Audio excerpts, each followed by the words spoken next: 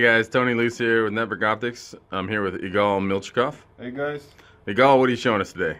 today I'd like to show you a new feature released today by the way, uh, called Fisheye Dewarping. Fish ID Warping, the one that's in our desktop client, now on mobile. So here we go. We got four systems, NX, uh, Burbank Moto NX demo, some cloud proxy test, blah, blah, blah. You go, go ahead and select uh, Burbank Moto, which is down the street. So Igal's logging into Burbank Moto right now. All right, pick one of the, the shop.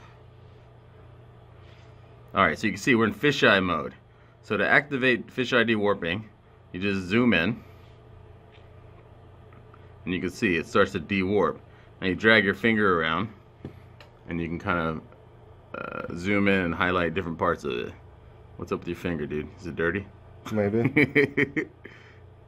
so zoom in, drag it around to, to look at different sides. There you go.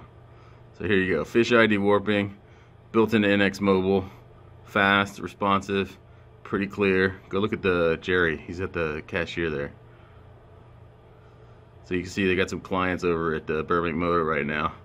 We're zooming in on them. Nice. Back out a little bit. There you go. Fisheye dewarping. It's a pretty cool feature.